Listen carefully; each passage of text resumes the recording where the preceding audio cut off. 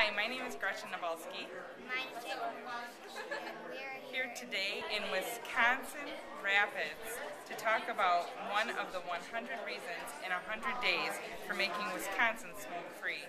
Wisconsin should go smoke free because when we're in a restaurant, we shouldn't have to smell secondhand smoke. And when we leave a restaurant, we shouldn't have to smell like secondhand smoke.